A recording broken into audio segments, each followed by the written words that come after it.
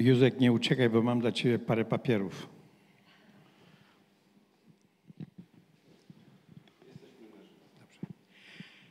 Witam serdecznie Państwa w drugiej części, która zapowiada się bardzo, bardzo interesująco.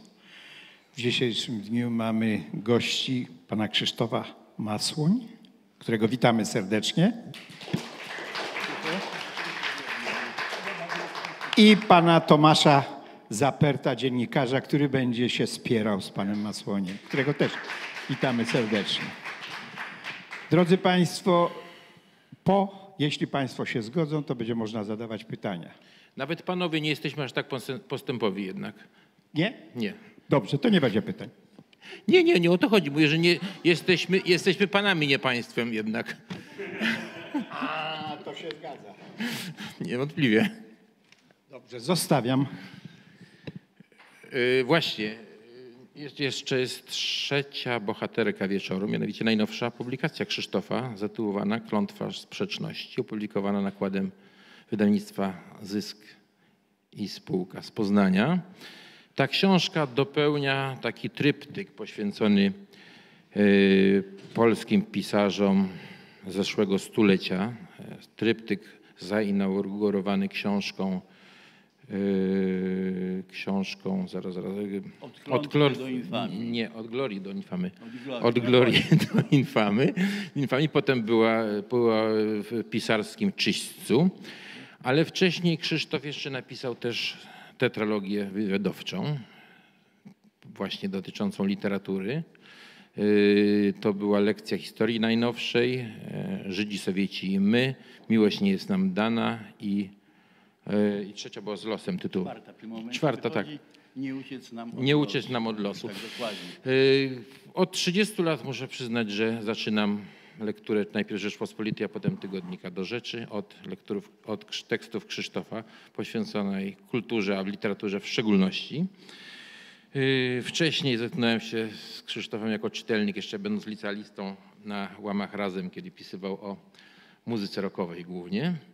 Yy, No ale w III Rzeczpospolitej przeszedł na pozycje literackie, no bo jest polonistą, skończył polonistykę na Uniwersytecie Warszawskim i śmiem twierdzić, że jest najlepszym znawcą literatury polskiej, to na pewno współczesnej. Yy, Miałem wiele razy, obserwowałem Cię w akcji, Krzysztofie, jak moderowałeś spotkania i było to bardzo ciekawe e, wydarzenie i czerpię trochę wzorce z tego Twojego prowadzenia rozmaitych spotkań autorskich. Yy, Chciałem się zapytać na początek, to jest subiektywny wybór Twój tych sylwetek zawartych w, tym, w tych trzech tomach esejów, szkiców, bo yy, jeśli chodzi o gatunek, to tutaj mam, myślę, że to jest taki melanż, amalgamat stylistyczny. Poniekąd tak, ale może, może po kolei. Po pierwsze dziękuję za przypomnienie moich wcześniejszych książek. One zawsze składały się z tekstów, które y, w zdecydowanej większości miały swój pier- pierwodruk w gazetach, w pismach, w których, w których pracowałem. Trochę był zmieniany, modyfikowany, jak, jak to zawsze. Ale to w ten sposób wyglądało. Stąd w tych właśnie pierwszych wspominanych przez Ciebie wydawanych jeszcze przez wydawnictwo literackie, przez wydawnictwo Pruszyńskiego. Przeważają wywiady z pisarzami, właściwie w pewnym, pewnym momencie się, się, głównie tym zajmowałem. E, Te trzy tomy ostatnie, ten trzeci, mam nadzieję, że będzie jeszcze czwarty, to już są sylwetki pisarzy. One się też wzięły z pisania, z pisania dokładnie w miesięczniku Historia do rzeczy którym do dzisiejszego dnia w każdym numerze, od, odkąd to pismo istnieje, a, jest, a z, z do rzeczy współpracuję od pierwszego numeru, zarówno z tego, w, tygodniku, gdzie, mam, gdzie, gdzie pisuję recenzję, jak i w miesięczniku poświęconym historii, gdzie takie sylwetki na początku dość, dość przypadkowe, wcale tego nie ukrywam, e, zacząłem publikować i w pewnym momencie ku mojemu, no miłe, bardzo to było miłe zresztą, zorientowałem się, że może nie za wielki, ale jakiś krąg czytelników mam. I się ludzie dopytują, dlaczego pan mi napisał o tym czy o tamtym, prawda? No, czasami brałem to pod uwagę, czasami nie. Zapominałem o wielu rzeczach, stąd to się rozrastało w pewnym momencie, no bo potem miałem sytuację taką, wydałem jedną książkę, to mi się, no zaraz, zaraz. Jeśli to ma być jak, jakiś obraz literatury XX wieku, polskiej literatury, a jakiś zawsze jest, nawet z takich sylwetek pojedynczych, to się układa w, jaką, w jakąś tam całość. To jak może zabraknąć nie wiem, Zbigniewa Herberta na przykład? Znaczy, oczywista bzdura. W związku z tym takie najbardziej, najbardziej chyba widoczne braki starałem się w tomie drugim jakoś uzupełnić. No też nie do końca. W związku z tym powstał tom trzeci. Czas, czas leci, jak mówię, nie jest wykluczone, że będzie, że będzie czwarty.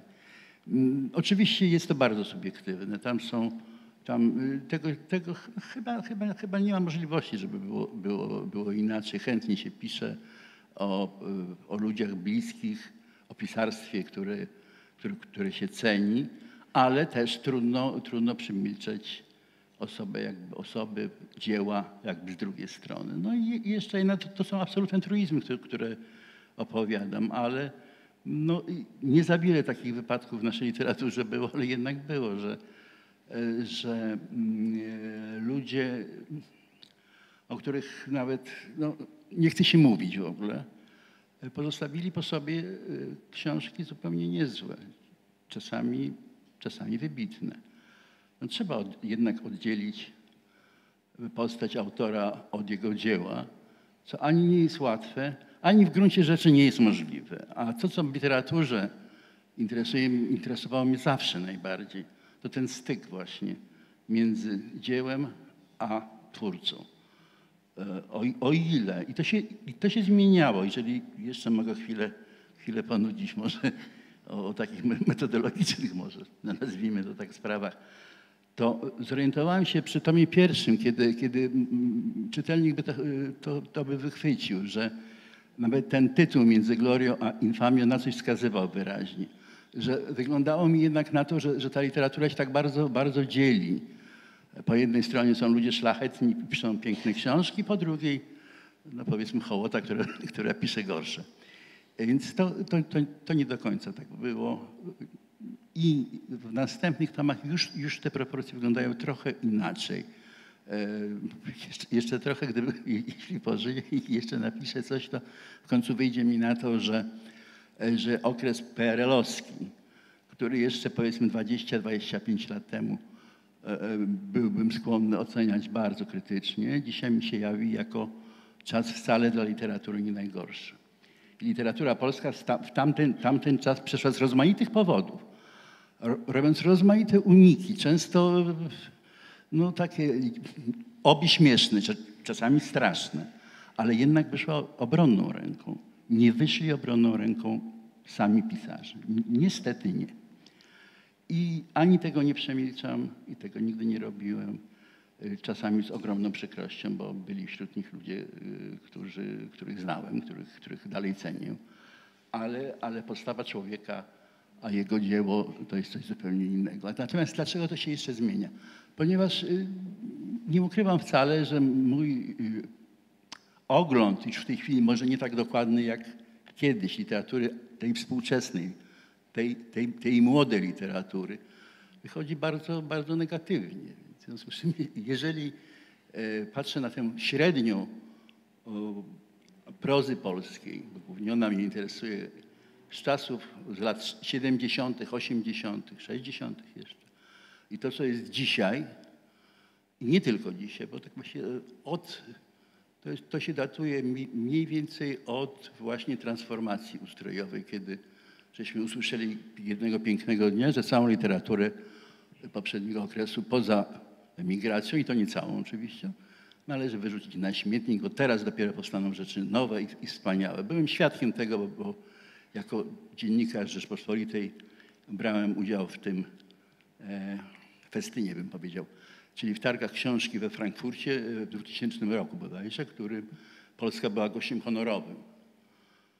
I taką wtedy wielką postacią świata literackiego w Niemczech był Marcel Reich-Ranicki. To jest znana postać, agent, Znany agent, agent, zresztą e, PRL-owski, jeszcze potem z Polski wyjechał, był tam, ale tam był, został e, recenzentem Frankfurter Allgemeine Zeitung, e, bardzo wpływowym, e, prowadził taki program w telewizji e, znany, więc no, taka alfa i omega.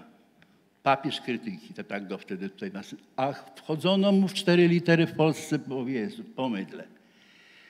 I duża, silna polska, polska ekipa pojechała do Frankfurtu e, z, z młodymi autorami, to były głównie panie, e, z Olgą Tokarczuk, z Manuelą Gretkowską, Gerkę, e, kogoś tam nie było, Zytą Rudzką, no, cała, cała masa e, wtedy, wtedy bardzo młodych autorek i to miało być to mocne uderzenie. No, tymczasem wystarczyło jedno zdanie tegoż Rajcha Ranickiego i to się skończyło w ciągu jednego dnia. Taki pękł balon. Mówi, to wszystko my też mamy, to nie jest w ogóle ciekawe. To, co jest ciekawe, to jest charakterystyczne, że on tutaj wymieniał no, z, rozmaitych, z rozmaitych powodów e, autorów takich jak no, ci, którzy się przebili na rynku niemieckim. Wtedy, brzmi to strasznie, dzisiaj wiem, ale wtedy to byli Andrzej Szczypiorski i Maria Nurowska. Taka prawda. No tak to mi widzę wyglądało. Dość to było chaotyczne, co powiedziałem, ale, ale to tak mi trochę do wspomnień nakłoniło się. E, Chciałem zapytać o genezę tytułu tego trzeciego tomu Krzysztofie, Klątwa Sprzeczności. No mam wrażenie, że najbardziej to pasuje mi do tego tytułu e, opowieść o Stanisławie Ryszardzie Dobrowolskim. Ciekawa biografia międzywojenna, dzielna postawa w czasie II wojny podstawowej i zupełnie fatalny czas w Polsce Ludowej. Właściwie powiedziałeś wszystko na temat Stanisława Ryszarda Dobrowolskiego. Pozostał on e, nam wszystkim, prawda, w pamięci jako przede wszystkim autor warszawskich dzieci. Mm, Z ładną kartą okupacyjną. E, Z ciekawą, z ciekawą biografią. Myślę tu jeszcze o- o jego latach przedwojennych. W końcu sportretowany został, e, został wspaniale przez Uniłowskiego we wspólnym pokoju. Ten wspólny pokój należał do jego rodziny, Do zresztą jego na ulicy rodziny, tak. Nowiniarskiej się mieścił, nieistniejący już na Nowym Mieście. Tutaj. Potem po latach to Has sfilmował, ale jak, jakoś więcej mam, więcej mam atencji wobec, wobec, wobec powieści. Y, No w każdym razie y, potem niestety, i to, i to też pamiętam, e, zgodnie z nazwiskiem pamięci niestety mam słonia i w 76 roku to, co ten facet wygadywał na stadionie dziesięciolecia, no było, było to straszne. Było to straszne. Mieszkałem wtedy na Woli. Taki obraz zapamiętałem z czerwca 76 roku. Wychodziłem z psem na spacer i od pedetu na Woli patrzę tak w kierunku Śródmieścia maszerują ludzie. Wyraźnie to jest jakiś taki coś w rodzaju takiego małego pochodu wśród. Każdy coś niesie pod pachą. No może nie każdy, co druga osoba. Co to jest? W jakimś czasie olśnienie, tam obok mieścił się komitet dzielnicowy partii. Ci ludzie w tych torbach nieśli banany, bo niestety było widać. No to był towar luksusowy, prawda? Więc, no, po tym to się wszystko ułożyło w jakąś całość. Oni wszyscy zmierzali na stadion dziesięciolecia, gdzie było spotkanie władz warszawskich, wiec poparcia dla Edwarda Gierka. Spotkanie było z pierwszym sekretarzem Komitetu Wojewódzkiego Partii, Towarzyszem Kępą. I po co o, tym, o tej strasznej historii w sumie, do tego jeszcze czerwone gitary grały. No w ogóle, o, malina to wszystko, razem było. Skandowanie Gierek, Gierek Partia, Gierek Partia.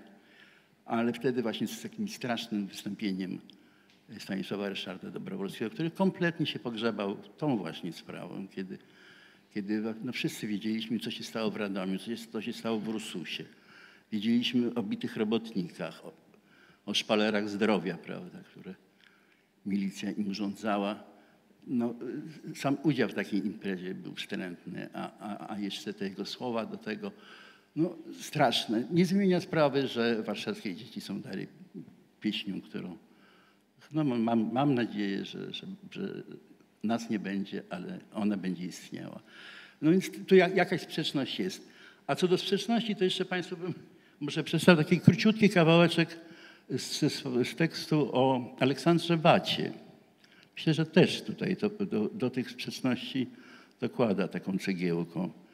On kiedyś tak, tak powiedział, niekoniecznie, niekoniecznie zgodnie z prawdą, ale powiedział tak. Byłem wszystkim tym, czym należy być, tylko nie we właściwym czasie. Byłem politykiem, kiedy trzeba było być poetą. I byłem poetą, kiedy trzeba było być politykiem. Byłem komunistą, gdy porządni ludzie byli antykomunistami. Zostałem antykomunistą, gdy rozsądni ludzie szli do komunizmu. No, zawiera się w tym cała, cała właśnie sprzeczności i, i to był taki, taki twórca. Y, podobnie, podobnie Paweł Herz, o którym też, też piszę w tej, w tej książce. Też jest nieprawdopodobny. Zachęcam Państwa do czytania tego, bo wszyscy mamy pamięć, y, pamięć dobrą, ale czasami, czasami może przykrótką. Niektóre postaci zapomnieliśmy może szczęśliwie, ale niektórych warto przypomnieć. Jestem dumny, że przypomniałem na przykład e, Bogdana Madeja. No właśnie, to jest chyba najmniej znana postać w tym tomie. Gdybym, podejrzewam, nie będę Państwa egzaminował, ale masa ludzi w ogóle nie kojarzy go sobie. To jest świetny prozaik z fantastycznym życiorysem, y, zapomniany z rozmaitych powodów, głównie dlatego myślę jednak przede wszystkim, to jest też charakterystyczne, on był z Lublina. Ale miałeś, zdałeś go osobiście, zdaje się, czy zdążyłeś? Miałem szczęście, miałem to szczęście. Y, trudno tu mieć jakieś tam bliższe znajomości, ale y, Przeprowadzałem z nim wywiad bardzo dawno temu, w 80 latach, ale potem, potem jeszcze, jeszcze spotykaliśmy się prywatnie. Mm, uroczy człowiek, chociaż dziwny fizycznie, troszeczkę Leśmiana przypominał. Szczuplutki, nieduży, nerwowy, lekki wąsik. Y, autor Maści na szczury. Może, może, może ten tytuł szczególnie tutaj powinien zapaść w pamięć ale z, z, takim życiorysem bardzo charakterystycznym. Człowiek, który pochodził, pochodził z Kresów, Grodno, tam się, tam się przejawia gdzieś. Potem, gdzie on nie pracował? Był robotnikiem, pracował fizycznie, yy, szlajał się po jakichś, jakichś dziwnych miejscach, potem to, potem to opisywał. Yy, samouk absolutny, ale samouk, który doszedł do tego stopnia, że sam się nauczył angielskiego i tłumaczył Faulknera. No to, to jest prawda. Artur Sandałes zrobił wielkie oczy. Mówił, jak to pan sam? Tak, no sam. Słuchaj, to niemożliwe. No możliwe i to zostało wydawane. Nie to, że, że, że się bawił w, taki, w takie rzeczy. Ale y, kiedy, kiedy mu pierwszą jego powieść, Piękne Kalalie, e, zaczęła ta powieść zbyt długo krążyć między jednym wydawnictwem a drugim i ciągle słyszał, że w przyszłym miesiącu, w kwartale roku, on to zabrał powieść, wydał u Jerzego Giedroycia. No i w tym momencie, jakbyśmy sprawdzili księgę zapisów cenzury, którą w swoim czasie Tomasz Strzyżewski wywiózł z Polski, to tam byśmy znaleźli taki też zapis, że nazwiska Bogdana Madeja nie należy wymieniać pod żadnym pozorem. No, tak się złożyło. Później miał, miał zrobił rzecz, no właśnie, to jest układy środowiskowe, jak, jak no działają w literaturze. W końcu lat 80., kiedy komuna się już sypała, to może ta sprzeczność. Facet z takim życiorysem, bo potem przez to wszystko szło e, tylko, tylko mógł, mógł, mógł, wydawać w Paryżu, pracy nie miał, był w trudnej sytuacji, gdyby, gdyby nie pomoc, pomoc Zachodu. No, po prostu dolary gdzieś tam pod, pod, pod stołem dawane na przeżycie, to miałby mm, żywot ciężki. No. I kiedy już to się sypało, była jakaś sytuacja, namówiono go, sam może, nie wiem, w każdym razie raptem znalazł się w odnowionej Narodowej Radzie Kultury. Jeszcze, jeszcze, jeszcze, to był rok chyba 87, 8, w każdym razie, no to zostało oczywiście przyjęte przez, przez salon z, z wyciem. No jak to? Cóż to za opozycjonista, który, który daje swoje nazwisko o komunie. Mm, to, to mu nie pomogło. W, Lublinie go, na niego zaczęto patrzeć też właśnie dziwne. Prozaik po prostu szlachetny i z gatunku tych, o których y, Igor Neweldy, o którym też piszę w tej książce, opowiadał Markowi Chłasce, ponoć o czym Chłasko sam pisał w Pięknych Dwudziestoletnich. Proszę pana, niech pan opowiada, niech Pan kółko opowiada ludziom to, co Pan chce. Niech Pan nie pisze, niech Pan opowiada ten tekst i niech Pan jak, na, jak najdłużej nie zostaje pisarzem. Niech Pan próbuje różnych rzeczy w życiu. Niech Pan wchodzi w różne środowiska, poznaje ludzi, dowiaduje się, jak żyją, za ile żyją. Te podstawowe rzeczy. No, Madej był takim człowiekiem stąd. Wiedza jego na temat życia w Polsce była przeogromna i, i taką prozę do dzisiejszego dnia szanuję najbardziej. A nie to, że jedna pani napisze o tym, że może dobrze, może byłoby interesująco dowiedzieć się o osobach, które mają dwie łechtaczki, czy jak Janusz Krasiński mówił, cóż mogę powiedzieć o literaturze rozporkowej? No właśnie. No właśnie, myślę, że ta klątwa sprzeczności tytułu też pasuje do biografii y, naszego ulubionego pisarza z początku, z początkowego okresu twórczości, Edwarda Lińskiego. Tobie bliskiego też z tego względu, że pewien epizod białostocki w twoim życiorysie zaistniał. No tak. Straszne wspominki. Ja to opowiadam, że tak się czuję, mam swoje lata, nie powiem, ale już teraz się czuję, poczułem się bardzo, bardzo wiekowy. Ale żeby, była w tym, żeby było w tym coś optymistycznego, wśród tych, może jeszcze o tym, że wśród tych sylwetek, to jest 30 parę, prawda, nazwisk, Tomku 32 chyba, e, cztery osoby żyją. Cztery osoby żyją, także zupełnie niezła proporcja, jak w poprzednich bywało gorzej. Y, Edward Redliński należy do tych y, czterech oczywiście, e, bo żyje. No, autor, autor sławnej konopiel, konopielki, którą uważam za Arcydzieło. za arcydzieło. To jest arcydzieło po prostu. Y, Natomiast y, rzeczywiście epizod białostocki, no, nawiasem mówiąc, przed tygodniem byłem w Białymstoku. Dla mnie jest to, jest to ważne, ważne miasto po części z powodów rodzinnych, chociaż tam nie, wchodząc w szczegóły, w pewnym czasie moi, moi rodzice tam się poznali w ogóle. O, może tak. Chociaż potem przyjechali do Warszawy, ja się urodziłem tutaj. No, natomiast w Białymstoku wylądowałem jako dorosły już, no prawie, prawie dorosły człowiek, bo student pierwszego roku, mianowicie zdałem na polonistykę, ale zdałem za słabo. I był to taki czas, że z od- odwołania zostałem przyjęty na coś, co nazywało się filią Uniwersytetu Warszawskiego, a dzisiaj jest Uniwersytetem Podlaskim, czy Biało, Białostockim. Białostockim. Wtedy to takie było coś, coś dziwnego. Nie byłem zachwycony tym z wielu powodów, zwłaszcza, że to ten, ta filia powstała w gruncie rzeczy dopiero co. Przedtem to była wyższa szkoła nauczycielska, trzyletnia. No tak się wydawałoby się, Boże kochany, no to trochę, trochę mnie ta rodzina cieszyła, że ja miałem w Białymstoku, więc do kogoś jakby nie jechałem do, w teren zupełnie mi obcy.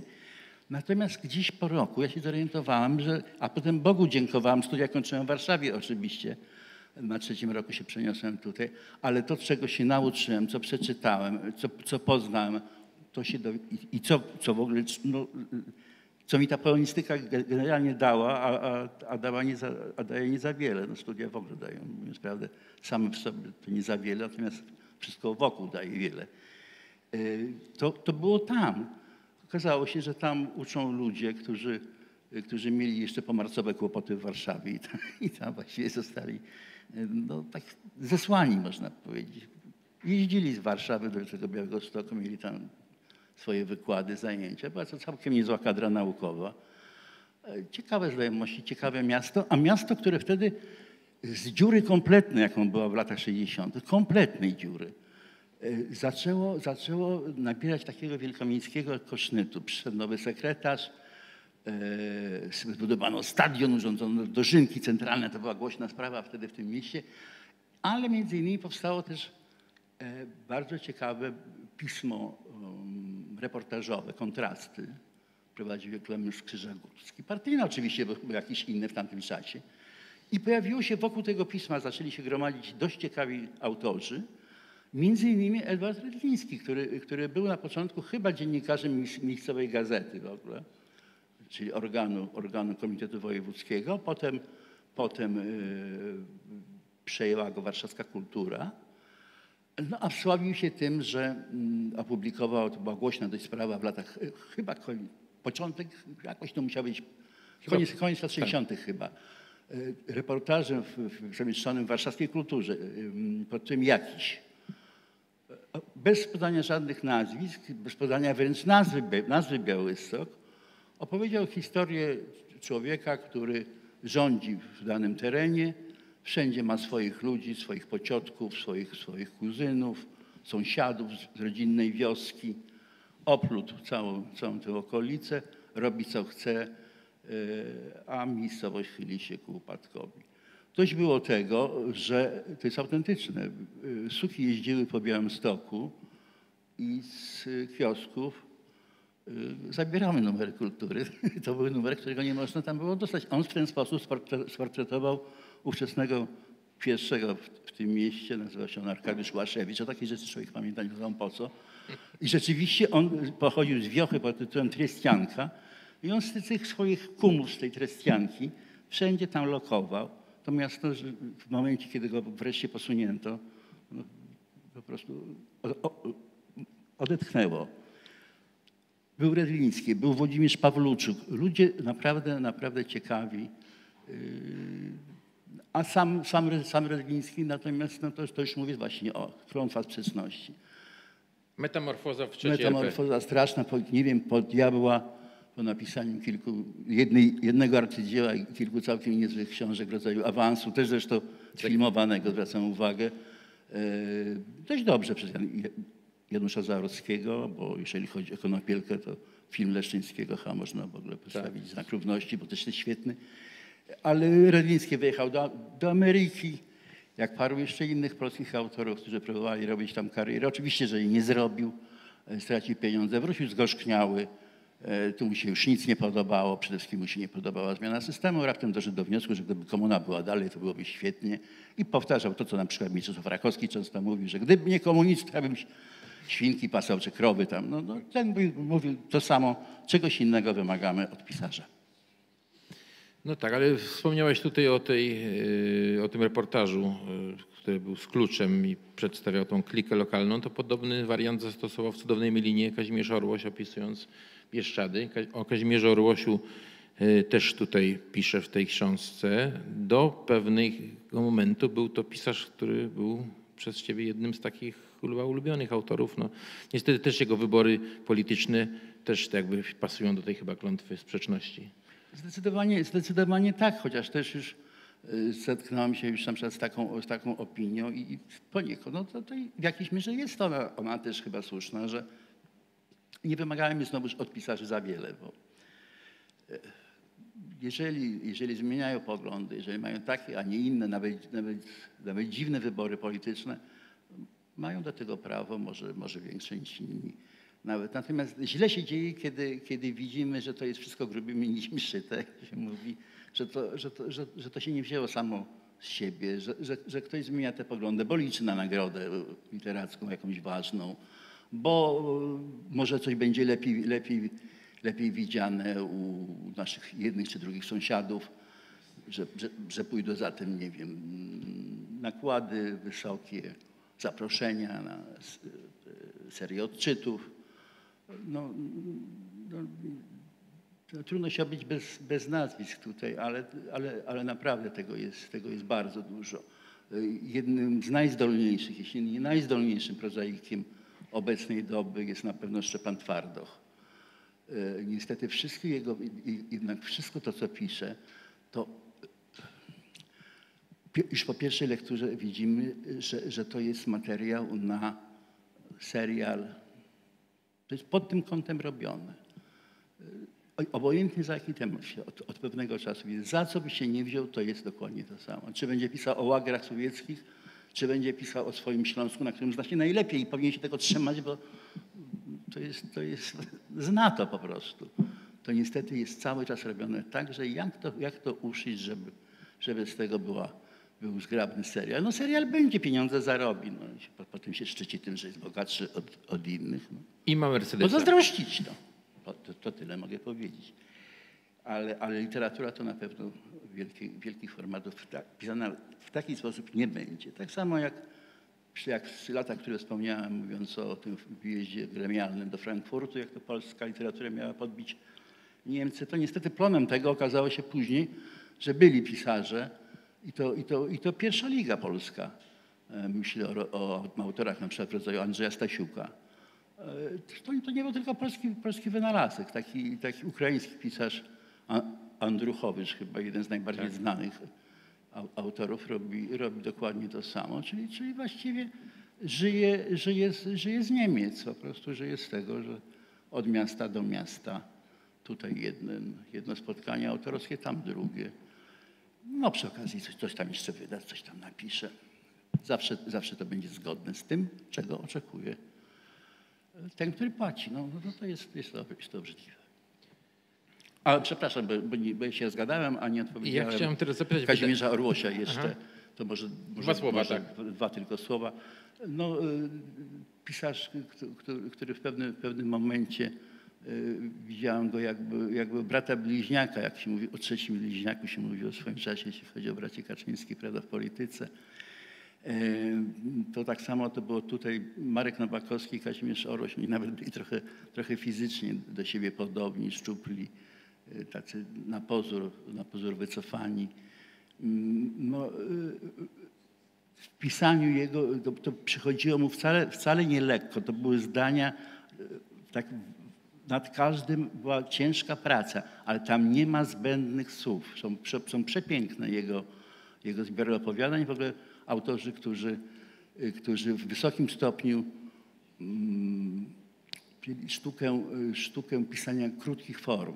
To, to nie jest częste i wbrew pozorom to jest znacznie trudniejsze od napisania powieści. Niestety dzisiaj jesteśmy na etapie takim, że piszemy powieści. Im grubsze, tym chyba lepsze. Nie wiem, się wydaje. Jakieś strasznie grube książki ludzie piszą. Czasami chyba lepiej, żeby ten tomik miał, nie wiem, 120-150 stron i wystarczy, jeżeli znajdą się w nim, nie wiem, 4-5 opowiadań, a każde z nich to, to jest perełka. No tak kiedyś bywało u Kazimierza Or- Orłosia.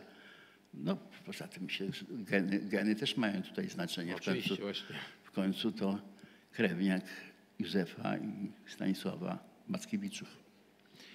Yy, Wspomniałeś tu braci Kaczyńskich. Yy, Nawiązałbym do, do nich poprzez Kornela Makuszyńskiego, ekranizacja o dwóch takich, co ukradli księżyc sławetna sprzed lat ponad półwiecza. Kornel Makuszyński zaszufladkowany jest jako pisarz dziecięco-młodzieżowy, co jest bardzo krzywdzące. Przez w PRL-u tak go ustawiono. No, w PRL-u mu się zdecydowanie nie wiodło, nie wiodło. No, władza ludowa go nie tolerowała z uwagi na to, że był endekiem po prostu, co tu dużo mówić. I to przypominasz. No bo taka, taka, jest, taka jest prawda. Do, przejdzie, y, przeszedł już i, i, i zostanie w literaturze tej. Dzisiaj troszkę to są ramotki już jednak, tu dużo mówić, ale w takiej literaturze wczesno-młodzieżowej, o tak bym No ale te wspomnienia szczenięce lata. Ale, ale to, są, to są bardzo piękne książki. Yy, No znam, ciągle, ciągle o filmie mówię, ale, ale, ale w dzisiejszych czasach to jest istotne. No, to nie jest przypadek, że Tarnas po kolei brał jedną za drugą tych książek. Z różnym skutkiem, trzeba przyznać. Z, z różnym skutkiem, ale no, w końcu Szaleństwa Panny Ewy nie są jakimś, jakimś wybitnym dziełem, a zrobisz z tego miły, miły sympatyczny, sympatyczny film, że nie wspomnę o zupełnych cudach, jak się dzisiaj ogląda ekranizacje, te pierwsze awantury o Basiem czy szatana siódmej klasy, no to po prostu łza się wokół kręci. Yy, Film z braćmi Kaczyńskimi też do takich należy. No akurat skoro już o, o, o braciach Kaczyńskich, to jakieś tam związki z literaturą yy, też, też mają e, poprzez no, nie tylko mamę, która się zajmowała literaturą zawodowo, ale o czym też nie wszyscy wiedzą, że, że e, przy porodzie to... Akuszerkę, tak. Akusz to powiedz ty może już. Akuszerką była e, pani Irena Zmarzlik, matka Tadeusza Gajcego. To mało znana historia. Także chłopaki, chłopaki z dobrą poezją się urodzili. E, Tak, myślę, że największy ferment tutaj wywołał, już chyba trochę wywołał, twój szkic poświęcony Witoldowi Gombrowiczowi, który z, z, znosi go z piedestału, z pomnika go strąca. Uważasz, i tu podzielam twój pogląd, że jest zdecydowanie e, przereklamowanym autorem. Tu, tu niewąt- niewątpliwie, y, skoro na początku pytałeś się mnie o na ile, na ile te moje wybory są subiektywne, to i te teksty myślę, y, no też s- są, no to chyba normalne, no niektóre są po prostu letnie powiedziałbym, i, jeśli nie mam jakiegoś wyraźnego, zawsze jeżeli autor nie ma takiego wyraźnego stosunku do swojego bohatera. A tutaj mam, a tutaj mam. Oczywiście, że, że Gombrowicz jest, e, jest pisarzem, który, który zostawił po sobie, po sobie rzeczy bardzo ważne, ale został przeceniony w sposób absurdalny zupełnie. e, bo to naprawdę nie ma żadnego powodu, żeby, żeby lekturą szkolną było Ferdydurkę. E, Wszyscy, wszyscy znamy ten e, sławny fragment, to prawda,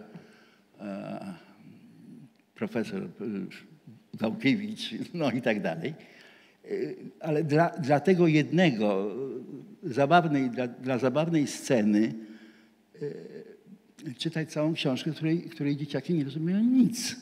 Nauczyciele starają się, bardzo się starają, rozumiem, czytają, czytają rozmaite analizy uczone, żeby przedstawić, że to jednak nie, opowiadają jak, jakieś historie. No,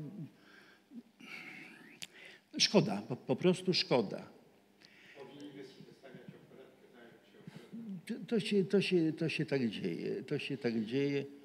No, e, dzisiaj nazwisko głośne z powodów politycznych, czyli Roman Giertych, w czasach, kiedy, e, kiedy był ministrem edukacji, a było to nie tak dawno w końcu, on był z innej strony zupełnie wtedy, no ale wtedy, wtedy chociaż raz mi się podobał, chyba- był człowiekiem szczerym. Yy, Na literaturze się nim pewnie nie znał, a i nie musiał znać. No. I, i doszło, doszło do tego, do awantury, bo awanturowano się wtedy o wszystko, kiedy chciał wprowadzić mundurki, prawda. Znane było hasło e, Giertych do wora, bór do jeziora, prawda, no, no i tak dalej. To, to samo się powtarza. I y, na jakiś, jak, telewizja to wtedy, wtedy zwięła to. Y, Widocznie przeczytał, bo tam było właśnie o tym, że on, on zrobił ruch fatalny zresztą, bo to, że usunął Gombrowicza, chy- chyba nie, chyba nie Feredurka, ale coś tam, coś tam usunął z jakiejś literatury, y, lektury nadobowiązkowej, natomiast włożył w to miejsce Jana Dobraczyńskiego z listami do Nikodema, no to powiedzmy, że y, ja zresztą bardzo cenię Dobra- Dobraczyńskiego, tę pozycję akurat, ale no, no to było tak, że nie kijem go, to prawda, pałką. No ale w każdym razie, ja, ja to przeczytałem, widziałem twarz Gierdecha, on nie kłamał wtedy, on zaczął się tak, nie do śmiechu, by mówi, to, to, to jest porównywane z Sienkiewiczem? No raz był szczery, no raz był szczery. Dajmy, y, oczywiście literaturoznawcy mają prawo, y, badacze, proszę bardzo, Pisz- piszcie sobie, co chcecie, że, że Witold Gombrowicz był w ogóle nie wiadomo kim, geniuszem, geniuszem, ale dajcie prawo również, również do myślenia. I, y, Dla mnie Gombrowicz pozostaje autorem bardzo ciekawego z wielu powodów transatlantyku, y, ślubu, jeżeli chodzi o dramat, na pewno nie egotystycznego dziennika, który właśnie się wszyscy dopatrują naprawdę, Bóg wie czego. To, to, nie jest, to nie jest tak. Dzienniki, kiedyś rozmawialiśmy Tomku zresztą, uważam, że najbardziej wartościowymi dziennikami, które, a, a- była to forma a, w wieku, w wieku XX, drugiej połowie XX wieku dość popularna. Pozostawił po sobie Gustaw Herring-Grudziński i Maria Dąbrowska. E, Są również w tym towarzystwie, nieźle by się chyba czuł Stefan Kisielewski jeszcze, e, no pod warunkiem, że, że, e, że jednak trzeba by, by, być w dzienniki Kisiela wyposażyć e, w stosowną ilość aneksów, bo tam niektóre, e, niektóre jego stwierdzenia są jakby zbyt daleko idące. Ale e, opublikowanie może, może by nie było mojego tekstu o Gombrowiczu, a przynajmniej znaczy, tekst byłby, tylko, tylko może by był, byłby jednak łagodniejszy, gdyby nie publikacja e, nie tak dawna jego Kronosa. No, to jest literatura wychodkowa. Wychodkowa i miejsce literatury wychodkowej jest w wychodku. Wszystko jedno, kto jest jej autorem. Y, Wspomniałeś tutaj o y, lekturach szkolnych. Ja mam taką, taki teraz przypadek z ostatnich lat. Y, Córka maturę niedawno robiła, no i ostatnio wprowadzono do lektury książki na szczęście e, Józefa Mackiewicza. No tyle, tyle, że nie można, tyle tylko, że nie można ich dostać. No wydawnictwo Kontra nie spełnia tutaj kryteriów i nie, nie można ich dostać w księgarni, można je zamawiać przez internet. Biblioteki szkolne mają kolosalny problem z tym. W związku z tym no, dzieci wiedzą to, co im powie nauczyciel. Nauczyciel też nie bardzo nieraz wie o Józefie Mackiewiczu wiele, no bo przez lata ten, ten pisarz był zapomniany. No i niestety wydawnictwo Kontra tutaj robi fatalną, fatalnie się zachowuje tym, jak, jak pies ogrodnika, tak bym, tak bym to No to, są, to są od lat, od lat ta sprawa się No ciągnie. tutaj Kazimierz Orłoś też zabierał głos w tej sprawie dotyczy dystrybucji tych, tych książek, ale ja myślę, że to Bogu dzięki, że córka chce czytać Mackiewicza, że nauczyciel w szkole jest za. Jakoś, jakoś te książki zdobędą, nawet przez internet. To już i tak dobrze. To już i tak dobrze. Słuchajcie, słuchajcie Państwo, to, co czyta młodzież dzisiejsza, to jest niestety no, ja, jeśli się pewnych, y, pewnych tytułów nie wrzuci, no poniekąd na siłę, bo no, y, też nie jest daleko od prawdy stwierdzenie, że jak coś jest w lekturze, to znaczy, że książka jest utrudniona, znaczy nie ma jej, no bo po lekturze młodzież nie sięgnie sama. No to musi, jeżeli musi, to niech przeczyta, bo musi. Nie wiem z jakich powodów niech przeczyta, bo sama z siebie będzie czytała coś, co jest po prostu, co nie jest literaturą. No. Bo książki to tak jak Włodzimierz Odojski dawał receptę, receptę pisarzom y, w tamtych latach w Polsce mających kłopoty z cenzurą, jak tutaj obejść, prawda. Y, Nie bierzcie się za jakieś tam ważne tematy, za politykę. On, ona, szczekający pies i starczy. No pewnie, no pewnie. Więc to, to, to jest tak. Jeż- Jeżeli córka będzie, będzie miała Mackiewicza, to i tak dobrze. Wspomniałeś tutaj nazwisko Włodzimierza Odojskiego. Też, też wydaje mi się, że on y, jakby jest uosobieniem tego tytułu Klątwa Sprzeczności. No, pisarz, który też napisał arcydzieło, no ale już pod koniec życia wyszły pewne ciemne karty No, to jest, jego to jest znakomity przykład na to, co mówiłem na początku, taka klamra właściwie, bo dzieło, dzieło, i- dzieło i człowiek.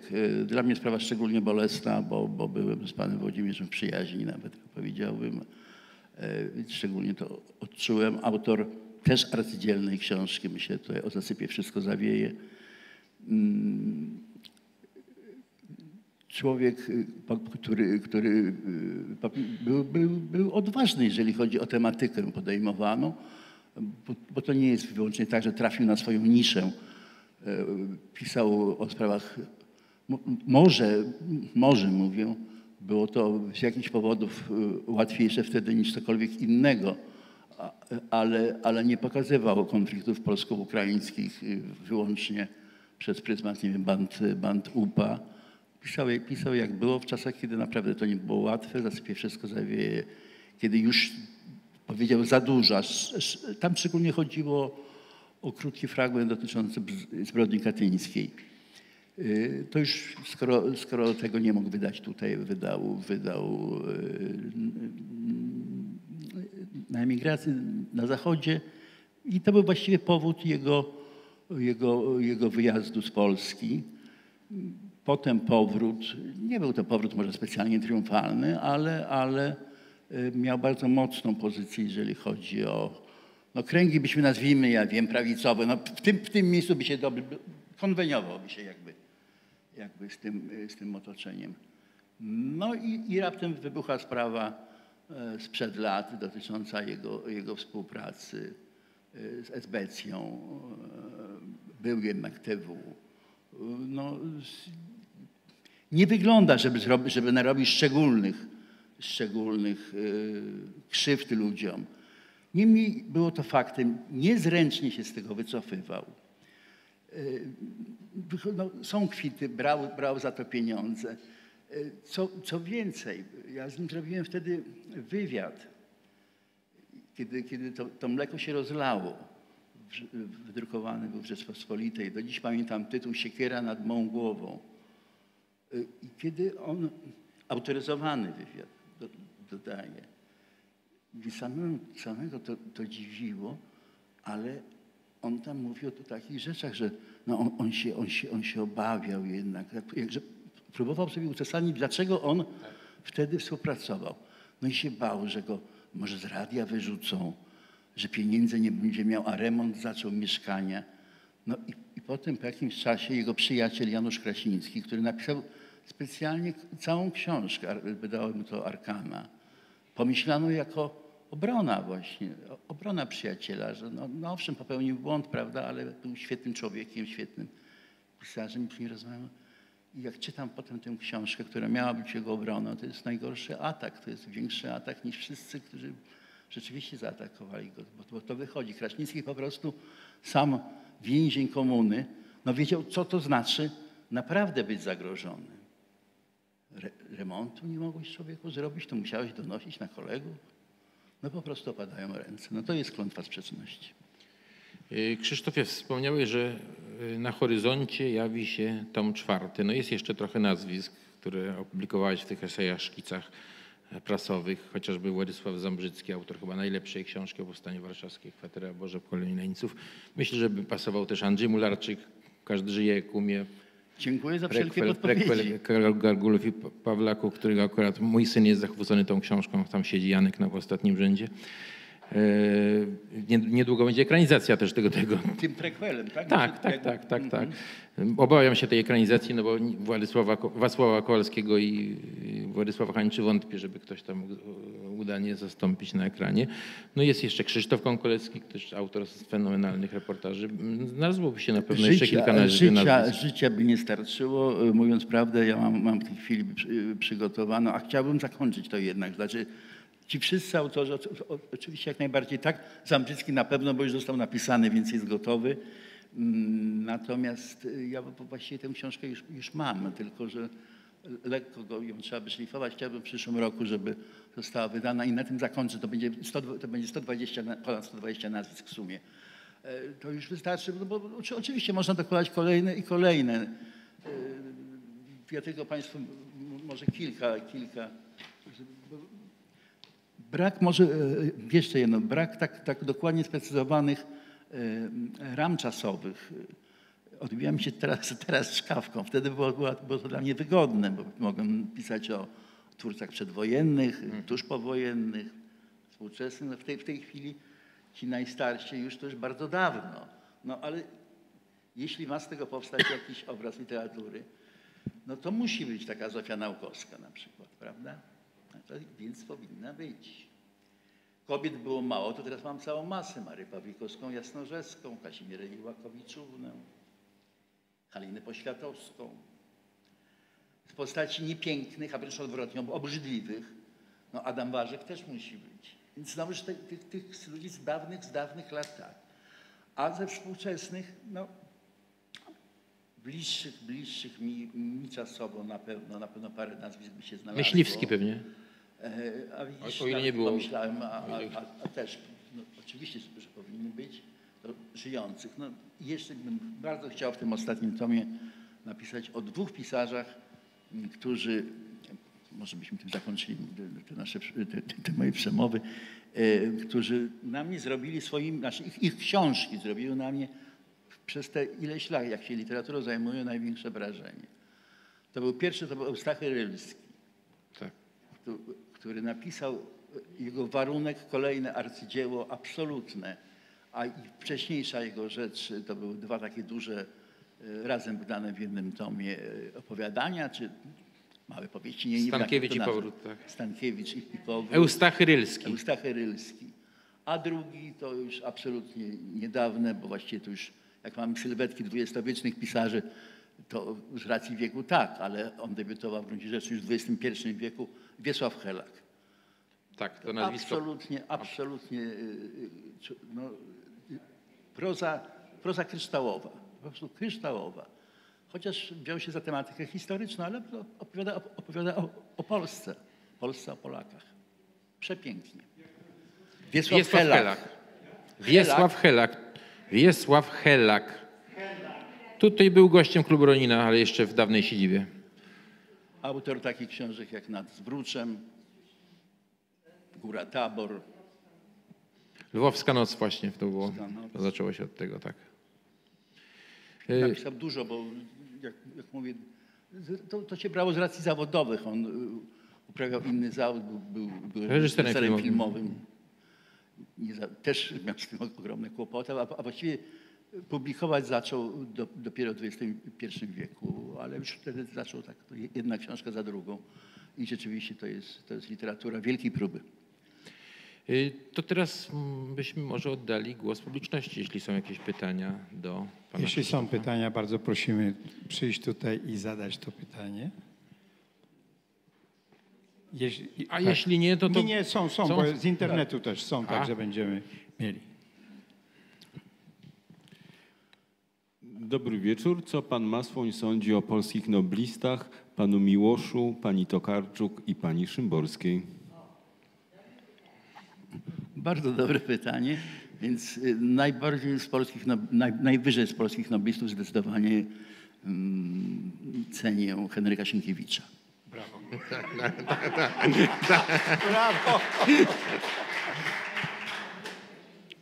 A już bardziej serio, y, każdy, każdy, z- każdy, z- każdy z nich pewnie y, w, w swoim czasie miał swój czas. Dla mnie ogromnym przeżyciem, jednak ogromnie sobie cenię to, że mogłem poznać go osobiście, rozmawiać z nim, przeprowadzać z nim wywiady.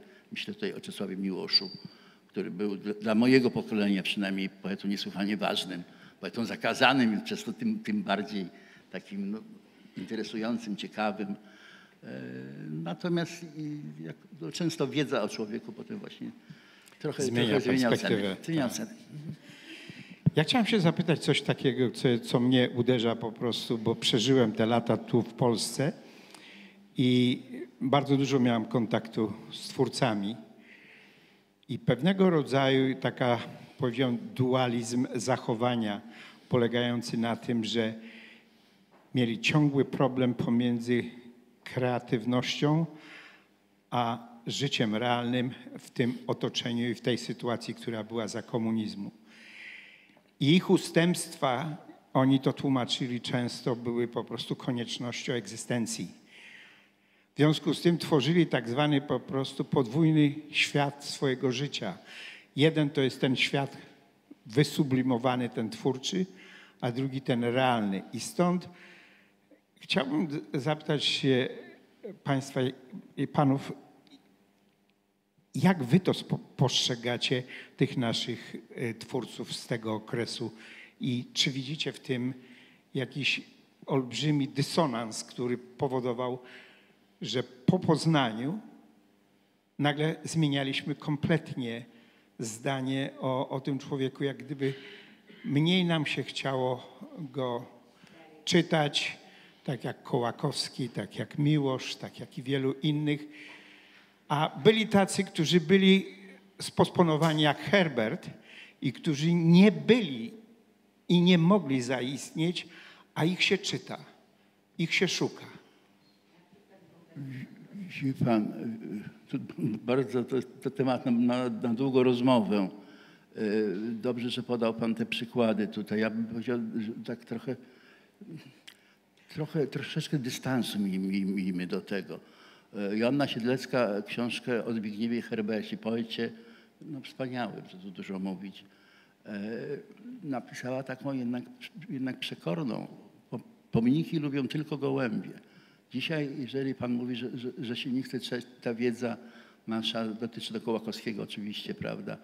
Czesława Miłosza tak, ale no, kiedy, kiedy, kiedy czytam za, zapis jego, znaczy to, co o, o jego, jego, jego słynne, słynne spięcie z Baczyńskim, z innymi ludźmi sztuki narodu w czasie, w czasie okupacji, jego zachowanie w ogóle wobec, potem to, co pisał o powstaniu, są rzeczy okropne.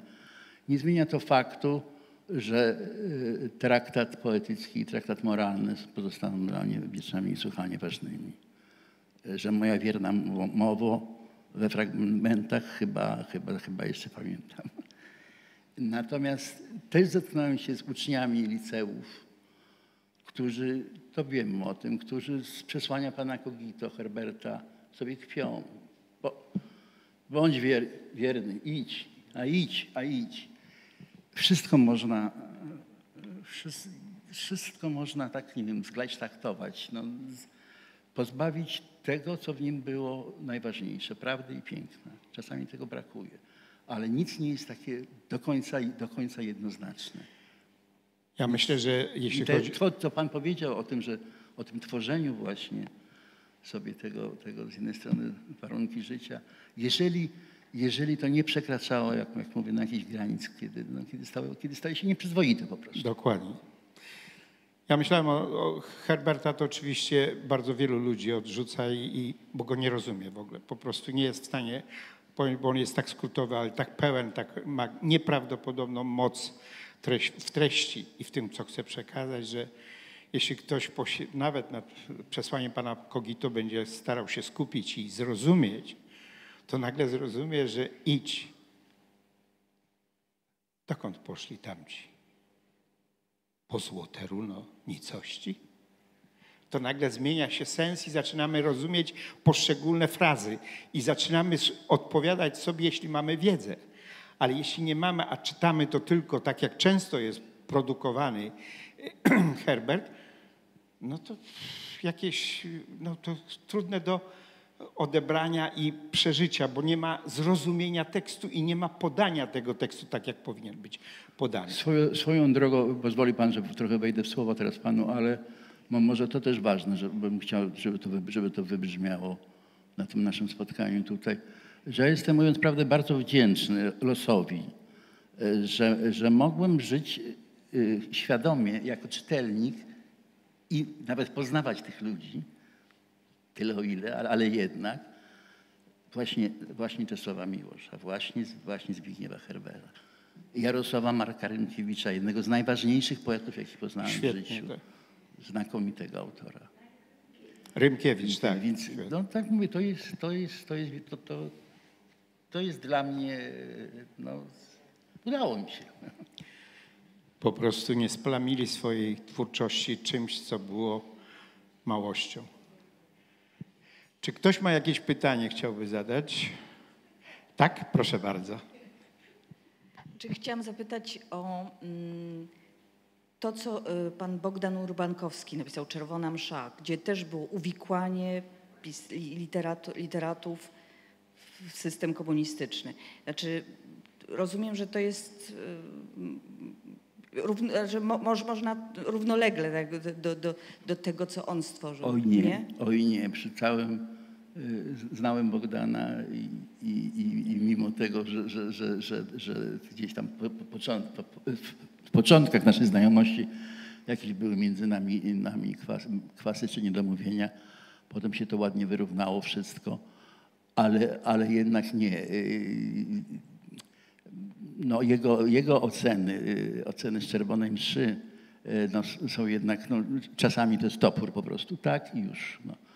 U mnie tego nie ma już pod, pod tym względem jednak, no może, może jestem człowiekiem bardziej łagodnym. To jeszcze chciałam zapytać o jednego pisarza, pan Kuśniewicz. Andrzej Kuśniewicz, to mi, o, był czas bardzo dawny, la- lata 70. jeszcze, czytałem. Taka jest jego jedna książka, którą bardzo lubię. Mieszaniny lwowskie bodajże to się nazywało. Bo, bo trochę, tro, trochę inna, ceniłem w nim y, y, tam, gdzie, gdzie, gdzie on opowiadał o Galicji jakoś tam. No to było nawet fajne. Znowuż coś tam sfilmowano jego, prawda? Lekcja O, lekcja martwego języka, jasne. Przecież to jest, to jest, to jest też według jego prozy. E, Kiedyś rozmawiałem z takim pisarzem e, bardzo popularnym i swego czasu e, no, absolutna pierwsza liga u nas, Jerzym Pilchem. Opowiadał przepięknie mi, mówił, kim dla niego był, dlatego on, się, on siebie kreował, taki, ja, ja jestem taki chłopaczek z Wisły, prawda? Kim dla niego był Andrzej Kuśniewicz wtedy? Trochę z racji geograficznych też, jak to wyglądało. No natomiast, no niestety, znowuż do pewnego mo, mo, momentu yy, czytałem to i, czytałem tylko książki, nic, nic nie wiedziałem o, o autorze, mało mnie to interesowało. No jakiś, jakiś starszy pan, no i tyle. Byłem, byłem człowiekiem młodym wtedy. Im więcej dowiadywałem się, no znowuż dochodziłem do jakiegoś tam mom, momentu, że w życiu zachowywał się tak, jak się zachowywał. Zachowywał się okropnie. No. No i, i, i co począć? Nikt, nikt mi y, nie odbierze moich, moich dawnych emocji, prawda? Czy wpłynęło to na moje sądy? Pewnie tak jakoś. No, najlepszy dowód, że nie zamierzałem o nim pisać właściwie. Nie chcę myśleć nawet o nim, no po prostu. Dlatego wracajmy do Sienkiewicza i tych, którzy mieli zgodność prawdy Mickiewicza i tych, co mówili, to, co przeżywali i tak postępowali. Ich życiorysy świadczą o tym, że wypływała cała treść i cała myśl o polskości, o Polsce, właśnie bardzo zgodna z tym, co odczuwali. A to Polska właśnie, jak, jak, jak pisał Wyspiański. Natomiast Tak. co do Mickiewicza, i to tak w swoich czasach współcześni mieli do niego tyle pretensji, że... Ale że pretensje to jest jedna rzecz, ale to, co, co zostało i co napisał, i jak napisał, A to jest... to już inna. Drodzy Państwo, w takim razie może podziękujmy bardzo serdecznie naszym gościom, którzy Ja tak dziękuję bardzo. My dziękujemy. I mam nadzieję, że będzie przy następnej książce następne spotkanie, które pozwoli nam przybliżyć postaci tych ludzi, którzy zostawiają ślad jakiejś myśli, choć niekoniecznie są ludźmi do naśladowania. Dziękujemy.